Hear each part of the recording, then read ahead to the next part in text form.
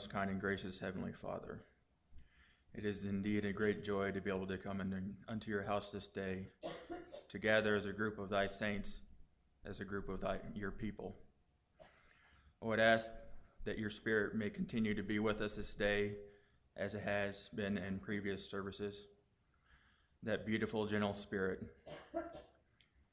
I would ask that your angels may be round about us this day to protect us and guide us, and open up our hearts and our minds to be receptive to those words that our brother has pondered upon and fasted and prayed upon that He may bring forth those things that would challenge us in our daily lives, that would encourage us and inspire us to be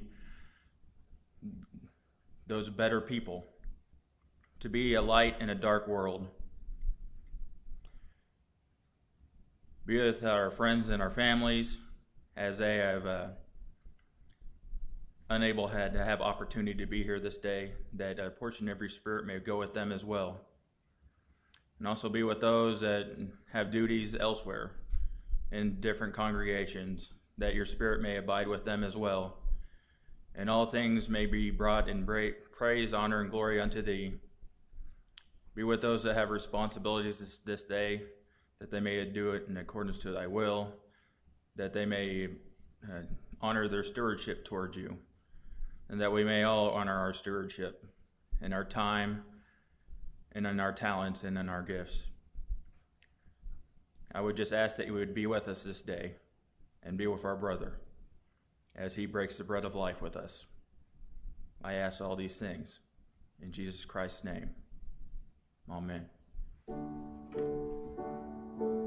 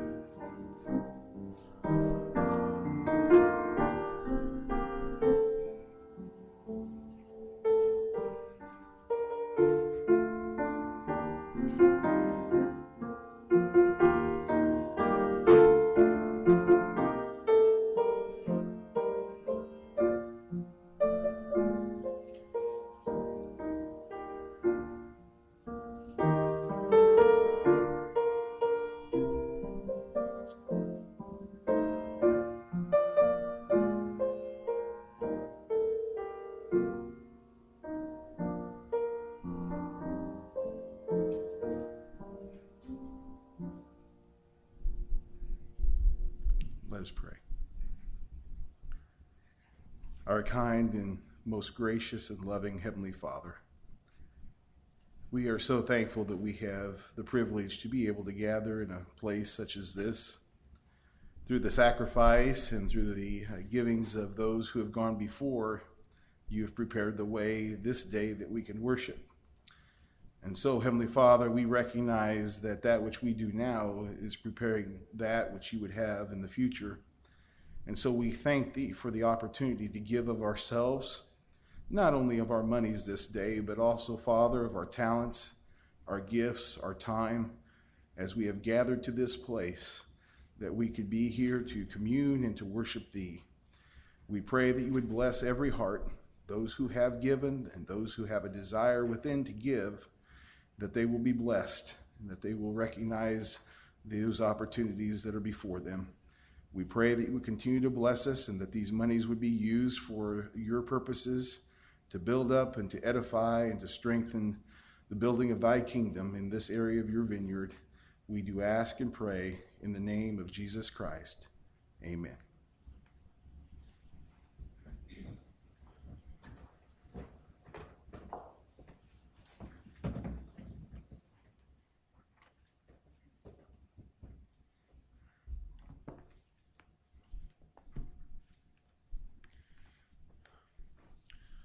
I'd like to share with you a few words from the Book of Mormon.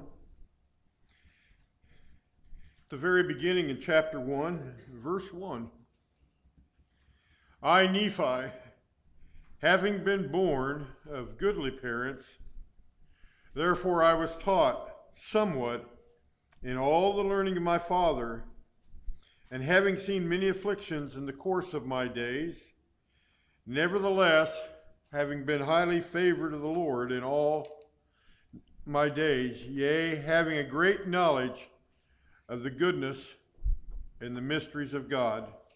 Therefore, I make a record of the proceedings of my day, and I make it in the record of the language of my father. May God add his blessing to the reading of this word.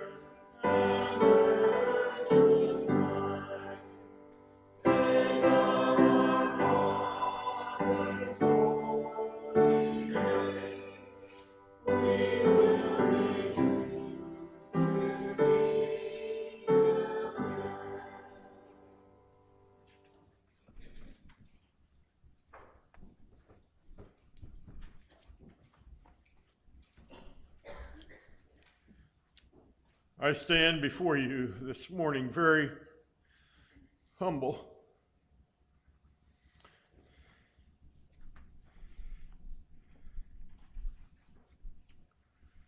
As I think about uh, the contributions of uh, my father and my grandfather,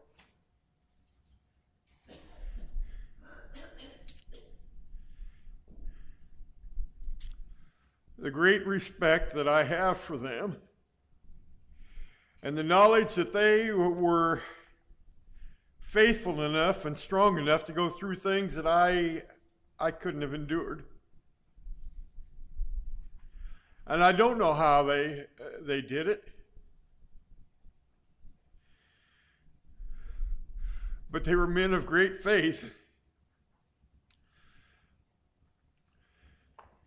And my great my grandfather was in a wheelchair. And he had seven kids. And his wife dies of typhoid. And there he sits. If he would have died, she'd have got $30 a month. But because he was the man of the house, he got $6 a month. It didn't make any difference whether he was in the wheelchair or not. But I remember my father talking about though they didn't have anything.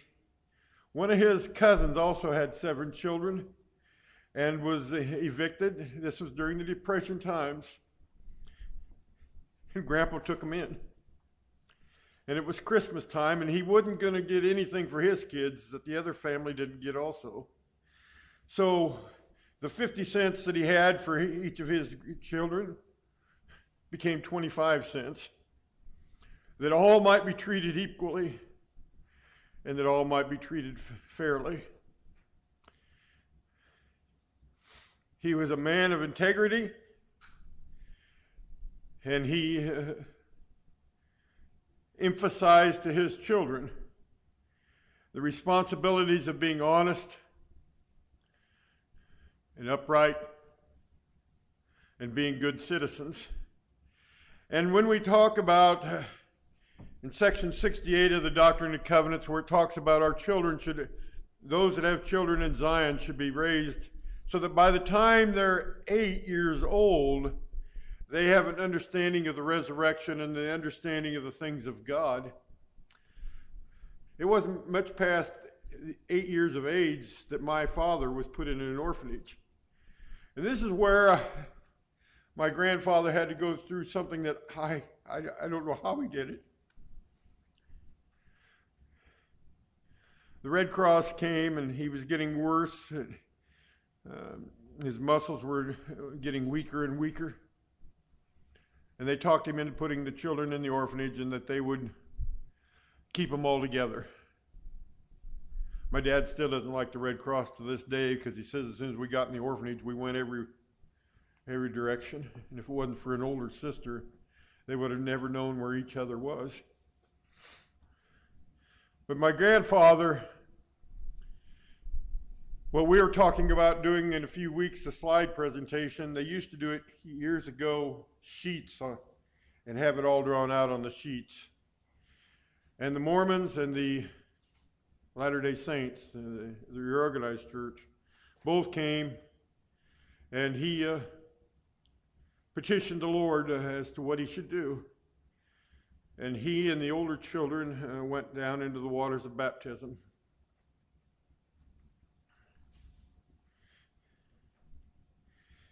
And it wasn't until after I had been married and had come, come to Missouri and gathered that one night, and I was sitting in a prayer service and the Spirit came over me so strong, and it said, Your grandfather prayed for your father. And you know, and my father that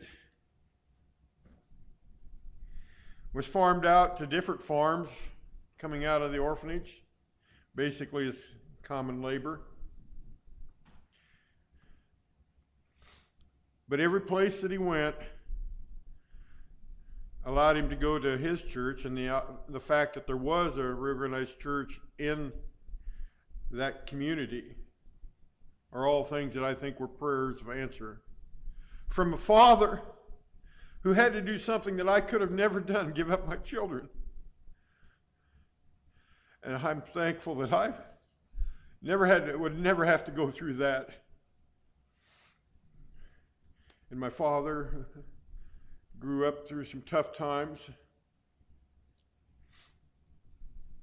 I remember him saying, I was starting player for four years in basketball. Nobody ever came to see me once.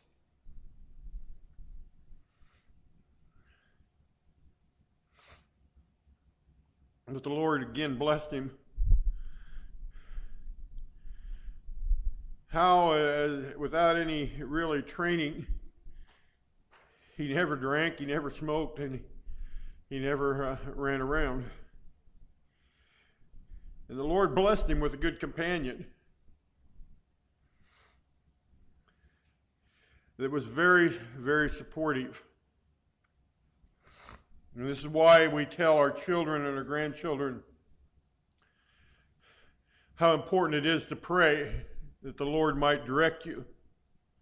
A couple things that I think are very critical is you should have a direction from the Lord who you're to marry.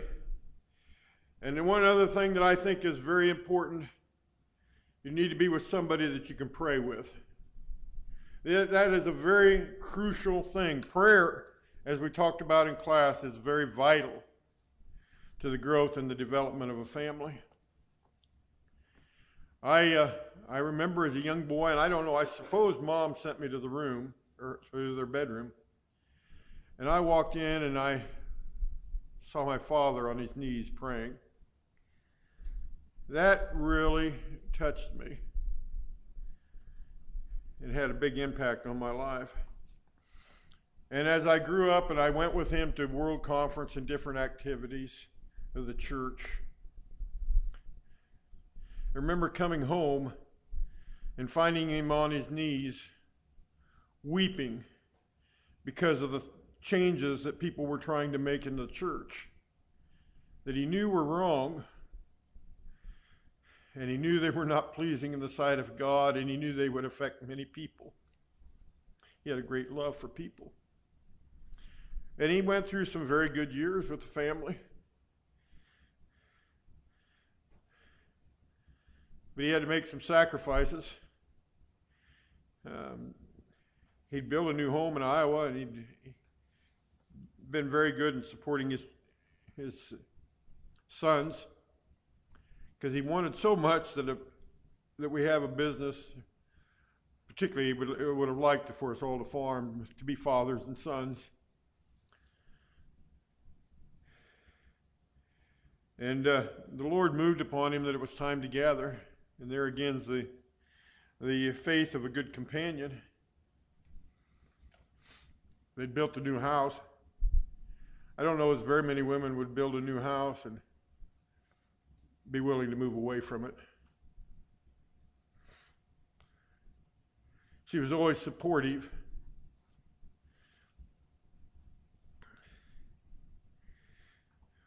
Well, in the zeal, I guess you'd say, to have the family all gather,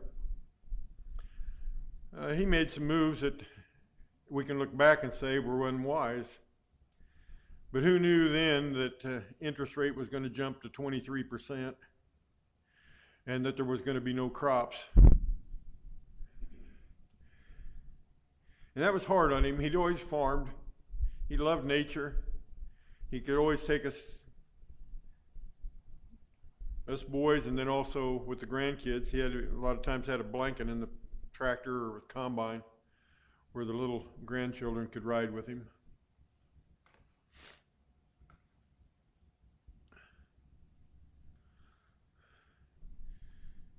And he, it tore him up to go to the city to work. He'd never been in that kind of environment. The vulgarity the poor language, shocked at what some of the women were talking about, and uh, it, was, it was some tough years for him. And then mom died in 2000. They'd been married for 52 or 3 years. And he's been 15 years alone again.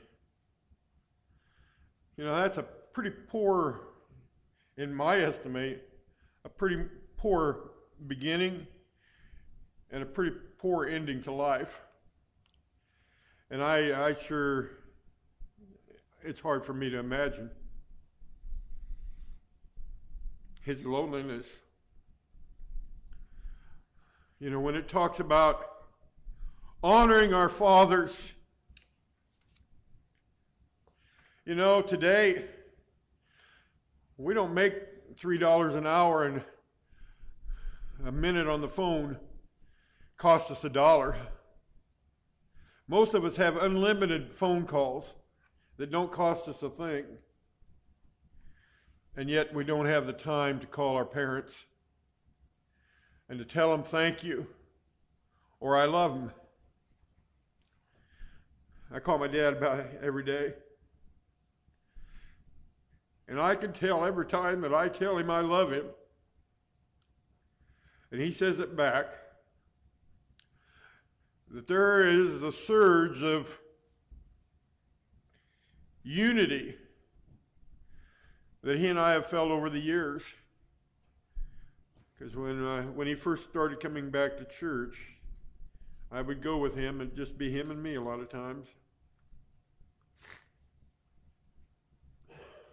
And we had some great experiences as a father son. And how important it is that our, our fathers teach our children the ways of God. And that's what Nephi was saying here. I, Nephi, having been born of goodly parents, therefore I was taught somewhat in the knowledge and the teachings in, of my, my parents. And over the course of time, he came to have a great knowledge of the goodness and the mysteries of God.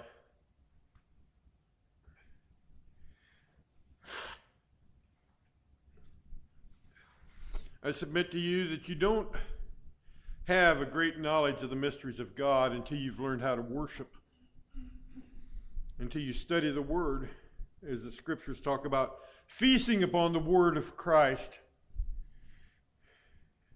and what it brings into our lives.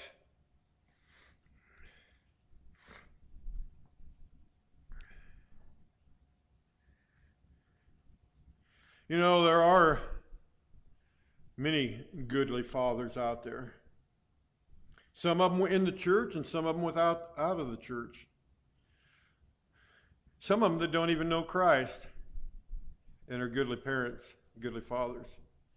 But I submit to you, every one of those that's a goodly parent is practicing spiritual dis- discipline, spiritual laws, even if they don't know it.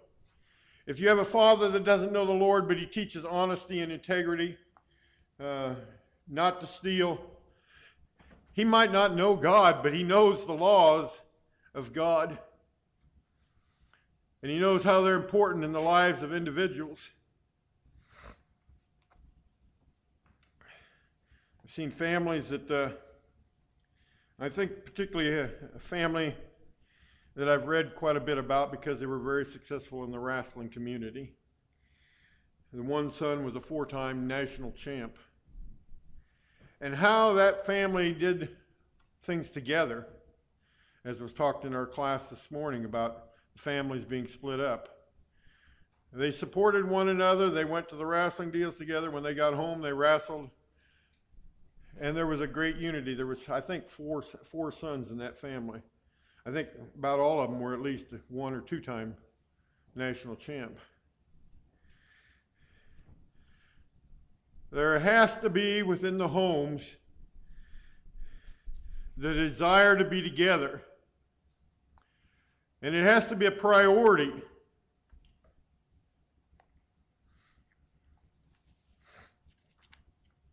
In the uh, second chapter of Jacob, the Nephites had become very successful, I guess you'd say, but as they as that happened, they began to be, be more worldly. and more prideful. And they began, sounds a lot like our society today. They began to be involved in adulterous relationships. And this is the word of uh, a servant of God to these men. Ye have broken the hearts of your tender wives, and you've lost the confidence of your children because of your bad examples before them. And the sobbing of their hearts ascend up to God against you. And the only way that that can be overcome in the life of any individual is through repentance. Repentance is not a bad word. Repentance is turning from that which is wrong to that which is good. It's a turnaround of our lives. And he says, Look unto God with firmness of mind Pray unto him with exceeding faith, and he will console you in your afflictions, and he will plead your cause, and he will send down justice upon those who seek your destruction. O all ye that are pure in heart, lift up your heads and receive the pleasing word of God, and feast upon his love, for you may, if your minds are firm forever. You know, the Apostle Paul talks about the scriptures being given for our good. And we also have recorded in the book of Mosiah For we have been taught in the language of the Egyptians, therefore we could read these engravings and teach them to his children, that thereby they could teach them to their children, and thus fulfill the commandments of God even down to this present age. I say unto you, my sons, were it not for these things which have been kept and preserved by the hand of God, that we might read and that we might understand his mysteries and have his commandments always before our eyes, that even our fathers would have dwindled in unbelief how important it is that we cherish and we pass on from generation to generation the Word of God. And this, this idea is passed on throughout all of the scriptures. In uh, Genesis, uh, out of the inspired version, I have given you another law and commandment. Wherefore, teach it unto your children, that all men everywhere must repent or they cannot can in no wise inherit the kingdom of God. For no unclean thing can dwell there or dwell in his presence. Therefore I give a commandment to teach these things freely unto your children, saying that by reason of transgression cometh the fall, which bringeth death. And inasmuch as they were born into the world by water and blood and the Spirit, which I have made, and so become the dust of a living soul, even so ye must be born again into the kingdom of heaven, of water and of the Spirit, and be cleansed by the blood, the blood of mine only begotten. Yea, that you might be sanctified from all sin, and that you might enjoy the words of eternal life in this world and the world to come. You don't have to wait till you get on, on the other side to enjoy the words of eternal life and feast upon them and grow and grow into the knowledge of God and grow in your desires to keep his commandments, and grow in your countenance that his image might be within you.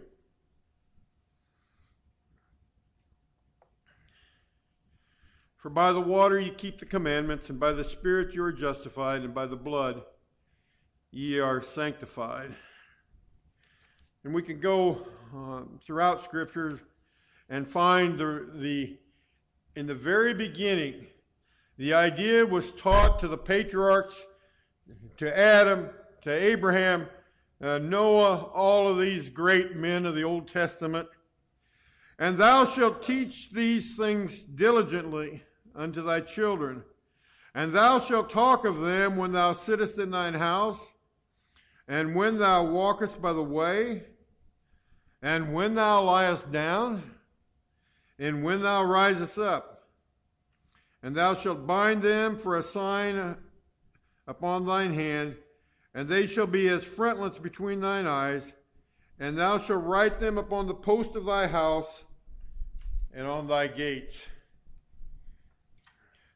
How many of you have ever been to the Capitol, either the national capital or, or at Jefferson? And what do you find written on the walls there? Scripture. Our forefathers that we've sang about this morning wrote upon the walls their beliefs so that all might see the source and the strength of this mighty nation. And as the, people responded to the Word of God, this nation grew and it prospered and it was saved from all the wars that are, have taken place overseas World War I, World War II, and so on. But now the day has come when we have to cry repentance to this nation, that they might not have to suffer the consequences of being disobedient to the Word of God. Many of the things which are transpiring in this nation are the same things that Sodom and Gomorrah were destroyed for. And if God is unchangeable and this nation doesn't repent, it can expect the same kind of judgments to come upon it. Oh, how important it is that we teach our children the Word of God, that they might diligently follow His commandments and keep His laws, as the, as the prayers on the communion say, that they might have His Spirit to be with them.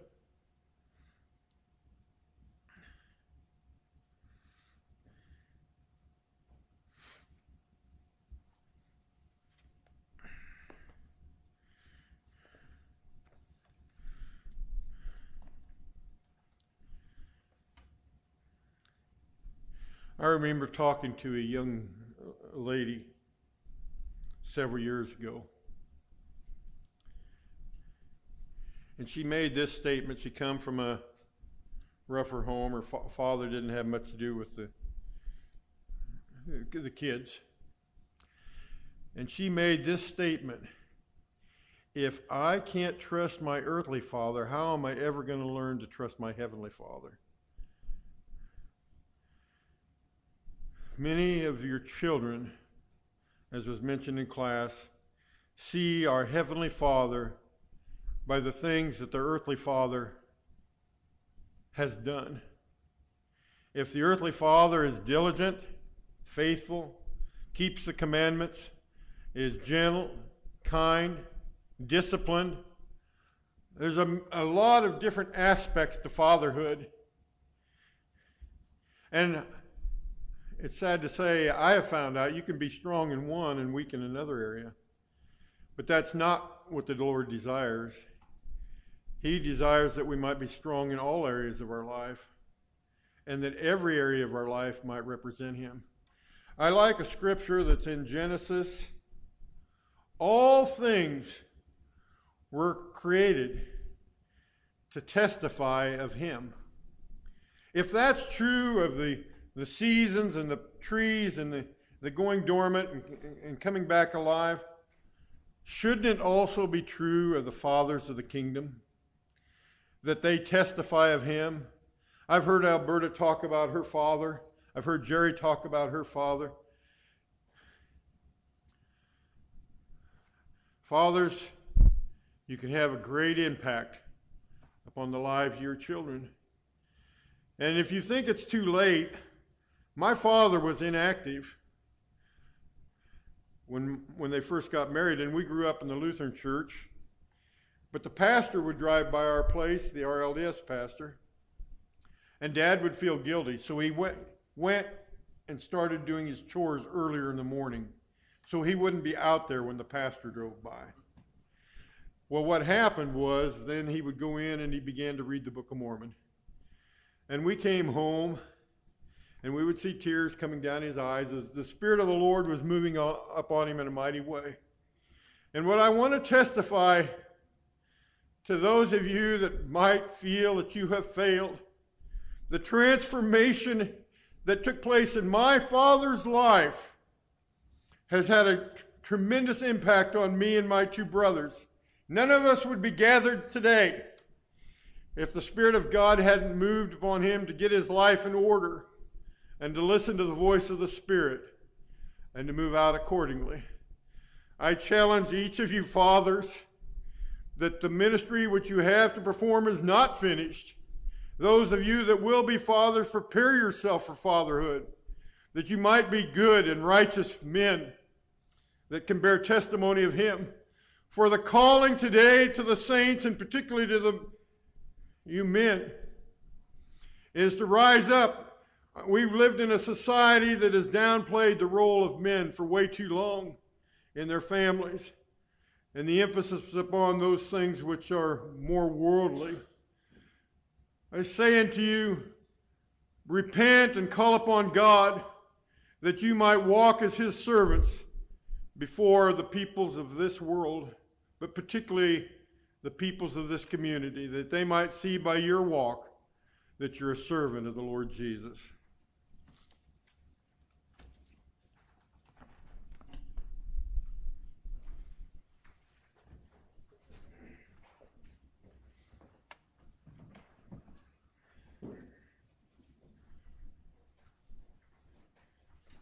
you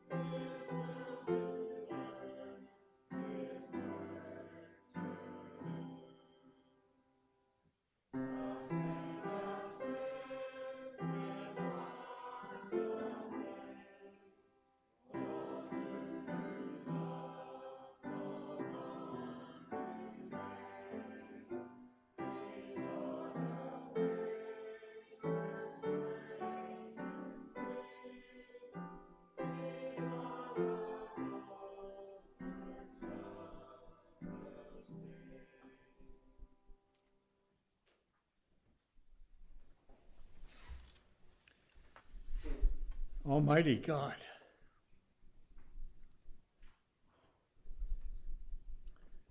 We have come to honor you.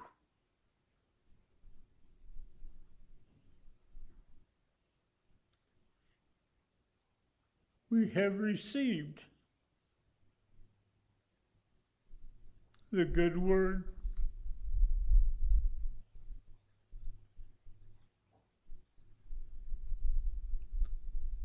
Now let us go forth.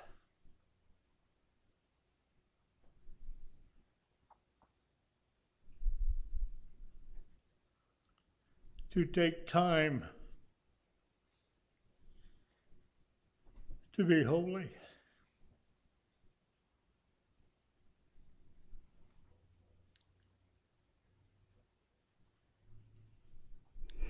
To show the world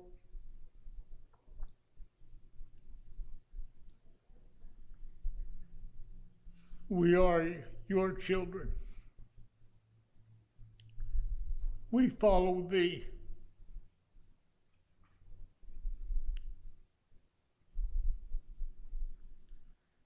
Bless us to this end. Heavenly Father, that we may show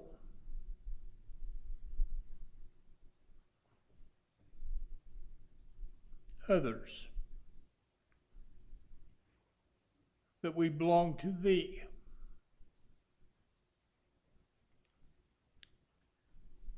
And we know Thy Word. And we live this life for Thee. We thank you for this hour of worship, that we can praise your holy name. In Jesus' name, amen.